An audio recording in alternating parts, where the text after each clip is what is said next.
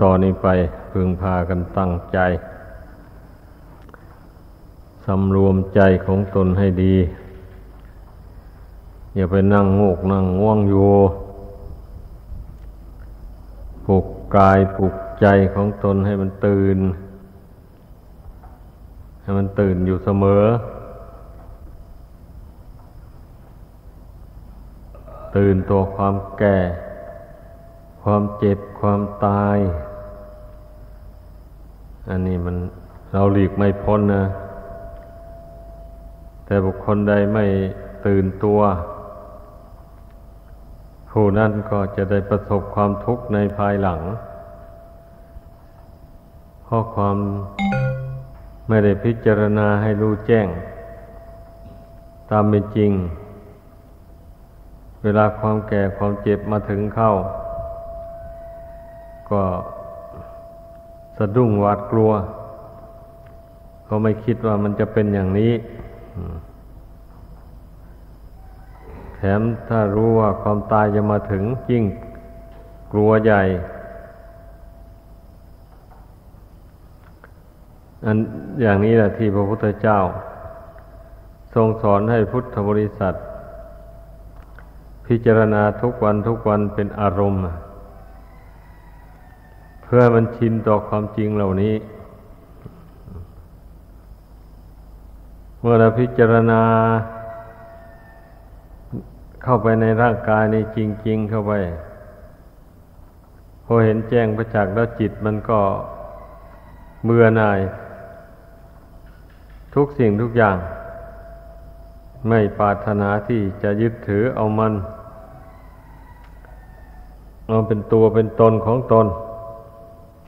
ก็ปล่อยวาง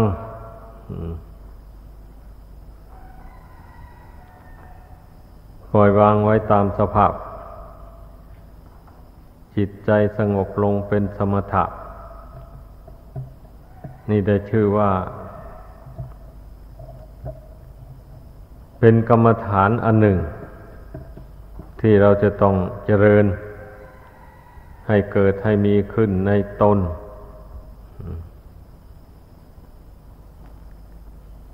เพราะความจริงเหล่านี้ใคร ๆ ก็ยอมหลีกไม่พ้น แต่เมื่อไม่พิจารณาบ่อยๆ มันทำให้ใจมันยึดถือ ว่าเป็นตัวเป็นตนเป็นเราเป็นเขา เมื่อมันยึดถือแล้วมันก็อะไร เวลามันจะพัดพลากจากไปก็เศร้าโศกเสียใจ หรือสะดุ้งหวาดกลัว พระพุทธเจ้าทรงตรัสไว้ว่า สัตว์โลกทั้งหลายนี่ ย่อมสะดุ้งกลัวต่อภัยคือความตาย สะดุ้งกลัวต่ออาญาคือความตาย มันเป็นความจริง ผู้ที่ไม่สะดุ้งเจียงจริงจังแล้วก็ได้แก่พระอรหันต์เท่านั้นแหละที่ท่านไม่สะดุ้งต่อความตาย เพราะท่านเห็นแจ้งแล้วว่า ขันหานี้ไม่ใช่ของตนไม่ใช่ของเราของเขา ท่านเห็นด้วยปัญญาอันเยี่ยม เพราะฉะนั้นท่านถึงไม่ สะดุ้งหวาดกลัวต่ออัญญาคือความตาย เพราะท่านเห็นว่าไม่มีคนตาย ไม่มีสัตว์ตาย เป็นแต่ธาตุสี่ขันห้ามันแตกดับไปเท่านั้นเอง นี่มันก็เป็นความจริง ถ้าบุคคลมีใจสงบตั้งมั่น อยู่ภายในแล้ว เพ่งพิจารณาดูแล้วมันก็รู้อะ มันก็เห็นชัดเลยว่า ร่างกายนี่ไม่ใช่ของเราจริงจัง ประกอบขึ้นด้วยธาตุสี่ดินน้ำไฟลม มีบุญบาปเป็นเครื่องตกแต่งอ้าวแล้วทำไมมันมันจะมาตกแต่งให้เกิดขึ้นมา ที่มันมาตกแต่งให้เกิดขึ้นมาก็เพราะ ดวงจิตตรงนี้แหละ มันไปยึดเอาไว้ ยึดเอากรรมดีกรรมชั่วไว้ในชาติก่อนนู่นมันยอมไม่ไม่ยอมปล่อยวางขันห้านี้ เมื่อไม่ปล่อยวางขันห้านี้มันก็ยึดเอา ใช้ขันห้านี้ทำดีบ้างทำชั่วบ้าง เมื่อทำแล้วก็มายึดถือเอาไว้ในใจอย่างนี้นะ มาพ้นจากพบจากชาตินั้นเอากรรมนี้มันก็นำมาเกิดอีก เพราะว่าชอบใจกับขันห้าอยู่นี้กรรมนั้นมันก็มาแต่งให้อาศัยขันห้าขึ้นมาอีก อย่างนี้แหละสาเหตุที่มันจะเกิดมานั่นนะทั้งที่ร่างกายนี้เป็นของไม่เที่ยงอยู่ตามธรรมดาแล้ว แต่มันก็ยังมาเกิดมาอาศัยอยู่ ก็เพราะเหตุว่ามันไม่รู้แจ้งตามเป็นจริงนั่นแหละพูดง่ายๆ ไม่มีความภาคเพียรพยายาม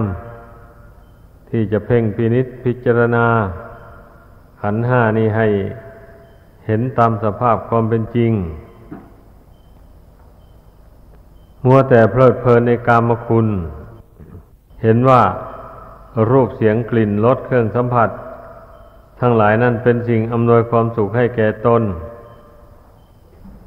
เมื่อตนได้สิ่งที่ตนต้องการและตนจะมีความสุขมาก จิตนี่มันเข้าใจไปอย่างนั้น เพราะฉะนั้นมันจึงดิ้นแสวงหาแต่กามคุณ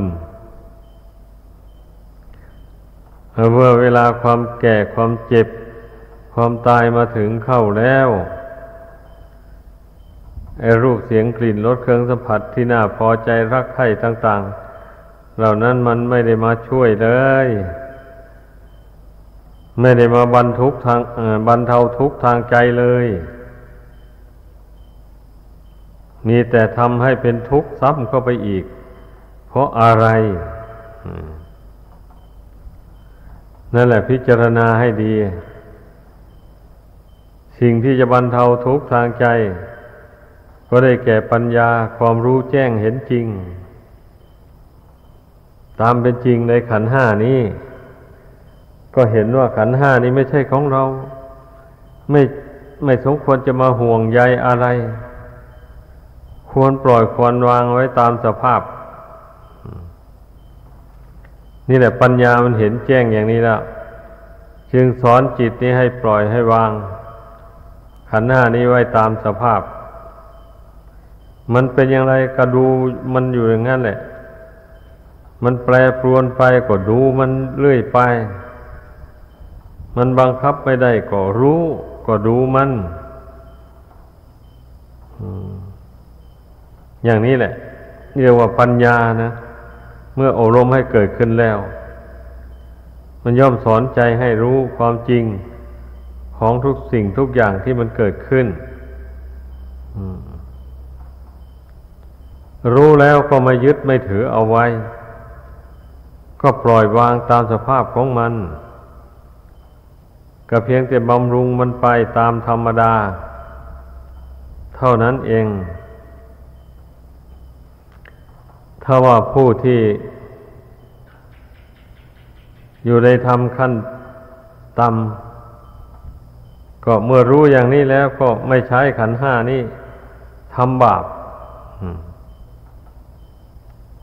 ไม่ใช้มันให้ฆ่าสัตว์ รักทรัพย์ประพฤติผิดในกาม กล่าวมุสาวาทดื่มสุราเมรัย กัญชายาฝิ่นเฮโรอีนจึงชื่อว่าผู้รู้แจ้งในขันห้า เช่นพระโสดาบัน ท่านรู้แจ้งในขันห้าด้วยปัญญาอันชอบ ว่าขันห้านี้ไม่ใช่ของเราของเขาอะไร ไม่สมควรจะมายึดถือว่าเป็นเราเป็นเขา อันนี้คุณธรรมของพระโสดาบัน เมื่อมันเกิดขึ้นในใจของท่าน เมื่อใดแล้วมันก็ไม่ดับ มันก็ปรากฏอยู่อย่างนั้นแหละความรู้ความเห็นอันเนี้ยท่านก็ดำรงชีพอยู่เหมือนอย่างคนธรรมดาทั่วๆไปแหละ แต่ถ้าไม่ทำบาป สิ่งใดที่เป็นบาปเป็นโทษ เมื่อศึกษาให้รู้ให้เข้าใจแล้วก็เว้นไปหมดเลย ไม่ทำมัน จุดมุ่งหมายที่พระพุทธเจ้าทรงแนะนำสั่งสอน ให้พุทธบริษัท ปฏิบัติทางใจฝึกใจของตนอย่าให้หลง ก็เพราะเหตุดังกล่าวมานั่นแหละ ถ้าไปหลงแล้วมันเป็นทุกข์หลาย เหมือนอย่างบางคนหลงทางในป่านี่วกไปเวียนมาหาของเก่าเรื่อย ไปที่ไหนก็วกไปเวียนมามาหาของเก่า จึงได้เกิดความทุกข์ใจหลาย เพราะว่า เดินไปแล้วมันมันไม่ถึง ทางที่ถูกต้อง วนไปเวียนมาอยู่ของเก่า ผู้หลงทางก็เป็นทุกข์เดือดร้อน หลงทางภายนอกนะ ผู้หลงทางภายใน ทางหลุดทางพ้นไปจากขันห้านี่ ก็เช่นเดียวกันนั่นแหละ ยิ่งเป็นทุกข์หลายกว่านั้นอีกเพราะฉะนั้นพระพุทธเจ้ายังตรัสไว้ในสติปัฏฐานนั่นนะสูตรหนึ่ง เอกายโนอยังมะโก สัตตานังวิสุทธิยาเป็นต้น ผู้ใดมาพิจารณากายนี่นะ ให้เห็นเป็นสักแต่ว่ากาย ไม่ใช่สัตว์ ไม่ใช่บุคคลตัวตนเราเขา อะไรเลย ผู้นั้นเห็นแจ้งด้วยปัญญาแล้ว ย่อมบรรเทาเสียได้ซึ่งความโศกเศร้าเสียใจ พิไรลำพันธ์ต่าง ๆ ความโศกเศร้าเสียใจย่อมดับไป จากจิตใจของผู้นั้น ความทุกข์โทมนัสครับแค้นใจก็ดับไปอา้าวก็ดับไปจริงแหละ เพราะว่าจิตนี่มันเห็นแจ้งแล้ว มันปรงมันวางไว้ตามสภาพแล้ว ก็ไม่เสียใจไม่ดีใจ กับความวิบัติแปรปรวนของร่างกายนั้น อันนี้แหละจึงได้ชื่อว่าเป็นผู้ มีปัญญา รู้จักหาทางออกจากทุกข์ให้พบ เราจะไปเดินด้วยเท่านี้ก็ ไปจนตลอดชีวิตก็ไม่มีทางพ้นทุกข์ได้ จะเหาะเหินเดินอากาศไป ทั่วพิภพนี้ก็พ้นทุกข์ไปไม่ได้เหาะไปในทุกข์มันก็ติดตามไปอยู่นั่นแหละ ในเมื่อยังได้อาศัยขันห้านี้อยู่ตราบใดแล้ว ทุกมันก็ย่อมมีอยู่ตามนั้นเจริญวิปัสสนาก็มารู้แจ้งอย่างนี้แหละ เพ่งพิจารณามันรู้แจ้งเห็นแจ้งอย่างนี้ แล้วมันก็จะไม่เศร้าโศกเสียใจอย่างที่ว่ามานั่นแหละนั่นแหละเป็นอานิสงส์แห่งการพิจารณาร่างกายสังขาร นามรูปเป็นอารมณ์จนเห็นแจ้งประจักษ์ย่อมได้รับอานิสงส์เมื่อเวลาร่างกายนี้มันวิบัติลงมันจะแตกจะดับ จิตนี้ก็ไม่เศร้าโศกเสียใจพิไรลำพันธ์ไม่สะดุ้งหวาดกลัวต่อความตาย เพราะมันเห็นแจ้งแล้วว่า ไม่มีคนตายไม่มีเราตาย เราไม่มีอยู่ในขันห้า ขันห้าไม่ได้มีอยู่ในเรา เราไม่ได้เป็นขันห้า ขันห้าไม่ได้เป็นเรา ท่านรู้แจ้งอย่างนี้ คำว่าเราก็โดยสมมุติ เอาดวงจิตนี่แหละแต่พูดถึงความจริงแล้วไม่ใช่เราไม่ใช่เขาอะไรหรอก สมมุติว่าเอาเฉยๆขอให้รู้เรื่องกัน ถ้าจะว่าให้ตรงๆก็ขันห้าไม่ได้มีอยู่ในจิต จิตไม่ได้มีอยู่ในขันห้าขันห้าไม่เป็นจิต จิตไม่ได้เป็นขันห้าเอาว่าตรงๆก็อย่างนี้แหละ เราต้องกำหนดรู้อย่างนี้ มันจึงไม่หลง เวลาที่ร่างกายมันจวนจะแตกจะดับ มันก็มีสติสัมปชัญญะประคองจิตไว้อย่างเต็มที่ มีปัญญาสอนจิตให้รู้เท่า อย่างนั้นเสมอไป นั่นเนี่ย แต่สำหรับท่านผู้รู้แล้ว ท่านไม่มีอะไร มีแต่ท่านกำหนดจิต รู้แจ้งอยู่ในขันห้านั้นแล้ว ไม่บันไหวตัวมันเท่านั้นเอง แล้วเมื่อได้เวลาแล้วท่านก็เข้าสู่นิโรธนิพพาน อืม ระอรหันต์ตายไม่เหมือนคนธรรมดาตาย คนธรรมดาตายนี่ลองสังเกตดูฟังดูลมหายใจวาระสุดท้าย เวลาจะตายจริงดังคอกเท่านั้นเนี่ยได้ยินในหูดังคอกแล้วก็เงียบไปเลยแล้ววันนี้ลมหายใจก็หมด แต่พระอรหันต์นี่ ลมหายใจไม่ปรากฏดังครอกอย่างนั้นไม่มี มีแต่ลมหายใจหมดไปธรรมดา ธรรมดาไม่ดังครอกดังแคกอะไรเลย นี่มันมันต่างกันอย่างนี้ คนธรรมดาสามัญตายกับพระอรหันต์เข้าสู่นิพพาน มันต่างกันอย่างนี้ ในวาระสุดท้ายจริงๆเนะ่ย ดังนั้นเราต้องให้เข้าใจไว้ ความตายเนี่ย มันมีอำนาจ เหนือชีวิตจิตใจของคนและสัตว์ทั้งหลาย ที่ท่องเที่ยวเกิดแก่เจ็บตายอยู่ในโลกสันนิวาตอันนี้ มันหลีกไม่พ้นเลย มีแต่หลีกพ้นได้แต่พระนิพพานแห่งเดียว เท่านั้น ท่านผู้ใดบรรลุซึ่งพระนิพพานได้แล้ว ท่านผู้นั้นก็ไม่วนเวียนเกิดแก่เจ็บตายอีกต่อไป นี่เป็นกฎธรรมดาอย่างนี้ ผู้ที่ยังปรงขันห้าวางขันห้าไม่ลง ก็ได้ชื่อว่าปล่อยวางกิเลสไม่ลงเหมือนกัน เพราะว่ากิเลสก็อาศัยจิตอาศัยขันห้านี้เอง ถ้าจิตปล่อยวางขันห้าในองค์ตามสภาพแล้วกิเลสจะไปซ่อนอยู่ในขันห้านั้นก็ไม่ได้ จะไปซ่อนอยู่ในจิตนี้ก็ไม่ได้เพราะว่าปล่อยวางทิ้งเสียแล้ว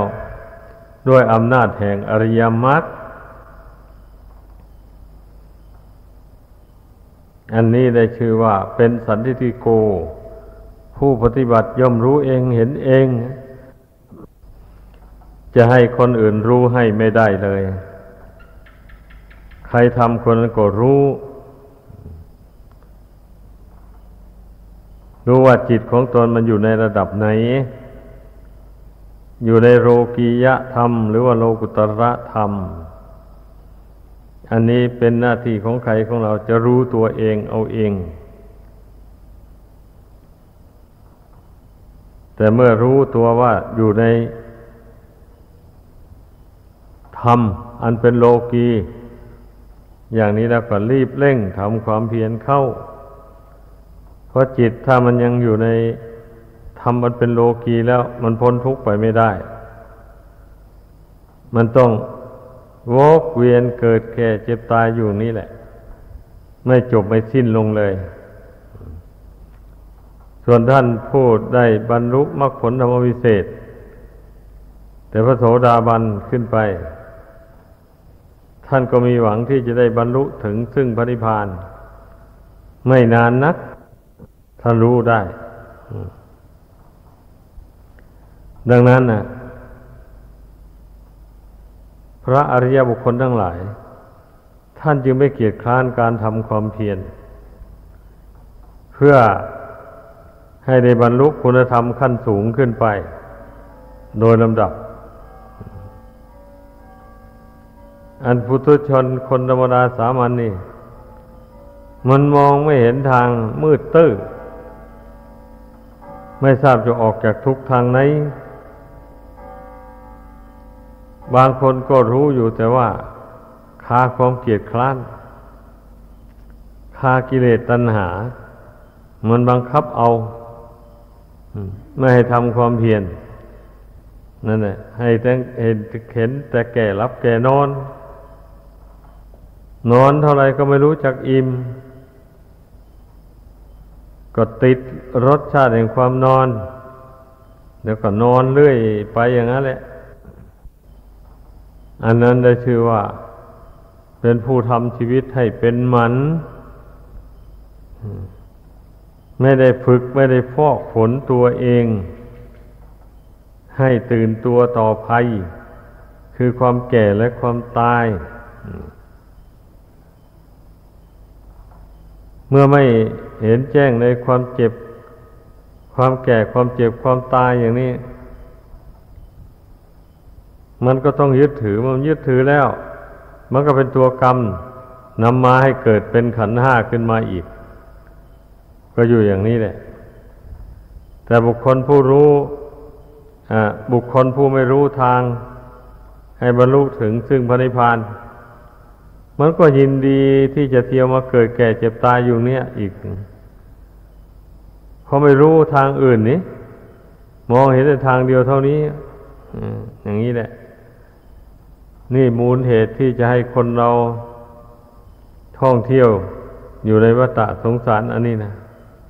เมื่อสรุปใจความลงแล้วก็หมายความว่า อาศัยความไม่รู้นั่นเองเนี่ย เป็นมูลเหตุ เป็นปัจจัยอันสำคัญ ความไม่รู้ถ้าอย่างเดียวแล้วมันยึดไปหมดเลย จิตเนี่ย เห็นสิ่งใดชอบใจก็ยึดสิ่งนั้น เพราะเพราะไม่รู้ว่ามันเป็นเหตุให้เกิดทุกข์มีแต่มันยึดถือเรื่อยไปอย่างนั้นนะตอนเช่นนั้นนะจึงสมควรที่จะฟังธรรมคำสอนของพระพุทธเจ้า พิจารณาให้มันรู้แจ้งตามเป็นจริง ให้ได้ ไม่ใช่ว่าไม่หลงนะแบบนั้นนะเดี๋ยวไปยังหลงอยู่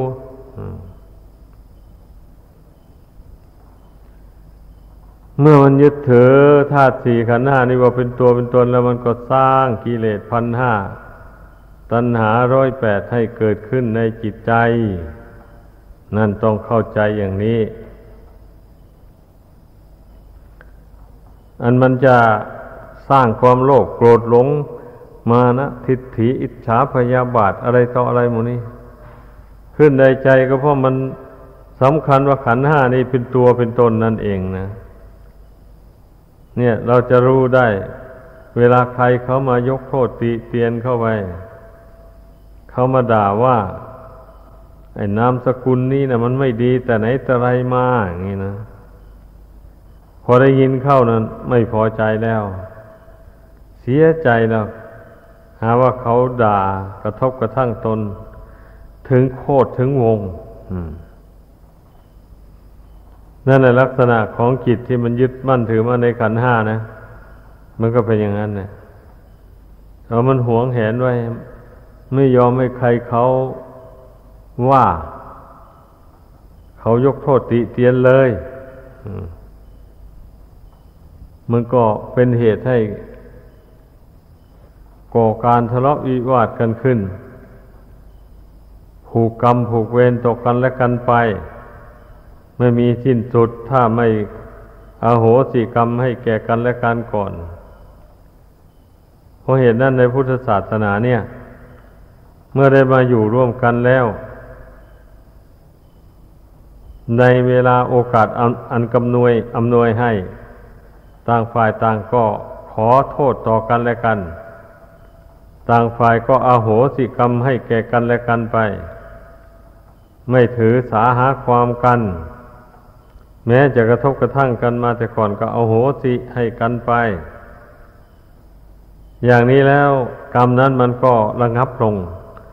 มันจะไม่ติดตามสนองต่อไปอีกแล้วผู้นั้นก็ได้ชื่อว่าลดทิฏฐิมานะลง มากพอได้ ผู้ที่ยอมขอโทษผู้อื่น ในเมื่อตนล่วงเกินผู้อื่นไปแล้ว และผู้ที่ถูกล่วงเกินนั้นก็ไม่ถือตัว เพื่อนขอขมามา เราก็เอาโหสิกรรมให้ไป นั่นเป็นการแสดงถึงความเป็นผู้ไม่ถือมั่นในขันห้าว่าเป็นตัวเป็นตนก็จึงไม่สร้างกิเลสพันห้าตัณหาร้อยแปดให้เกิดขึ้นในใจ เป็นอย่างนี้แหละ ให้พากันเข้าใจ อันที่คนเราจะเที่ยวทุกข์ เป็นทุกข์อยู่ในวัฏสงสารนี่นะ สรุปความลงแล้วว่า มันก็มีอาศัยจิตดวงเดียวเท่านี้แหละ เมื่อจิตนี้ไม่ได้รับการฝึกฝนอบรม ปัญญาไม่เกิดขึ้นแล้ว จิตนี้มันก็เที่ยวไปเกาะไปคล้องกับอะไรต่ออะไรอยู่ในโลกอันนี้นะนั่นแหละมันจึงเป็นกรรมมาพบ เป็นกรรมที่นำให้เกิดในภพในชาติต่อไป มันเป็นอย่างนี้ ให้พากันหวนระลึกทบทวนดูเบื้องหลัง แห่งความเป็นมาของตน ถึงจะระลึกชาติหนหลังไม่ได้ก็ตาม แต่เมื่อเราอนุมานคืนหลังไป ชีวิตของเราแต่ละคนนี่นะเคยเที่ยวเกิดเที่ยวตายมา เคยตกเป็นทาสแห่ง ราคะตัณหาความรักความใคร่ ความเกลียดชัง ต่างๆมาแล้วอย่างโชคชนนะไม่ใช่ว่าไม่ได้สัมผัสกับกรรมคุณนี้มาเลยไม่ใช่ มันเป็นพื้นมาแล้วแต่ไหนแต่ไรมาให้ทบทวนดู แต่จนมาถึงปัจจุบันนี้ มันก็ยังพ้นทุกข์ไปไม่ได้บางคนยิ่งยากจนขนแค้น หากินไม่พอปากไม่พอปากพอท้อง หาเลี้ยงครอบครัวก็ไม่ไหวอย่างนี้นะ มันก็เป็นเรื่องที่ บุคคลผู้มัวเมาประมาทมาแต่ชาติก่อน ไม่ได้ทำความดีอะไรไว้ นั่นผู้ใดทำความดีไว้ก็ยังชั่วน้อย เกิดมาชาตินี้ก็เป็นผู้สมบูรณ์ด้วยลาบยศสรรเสริญและความสุข แต่ว่าลาบยศเป็นต้นเหล่านั้นก็ไม่เที่ยงไม่ยั่งยืน ในเมื่อขันห้านี้มันไม่ยั่งยืนแล้ว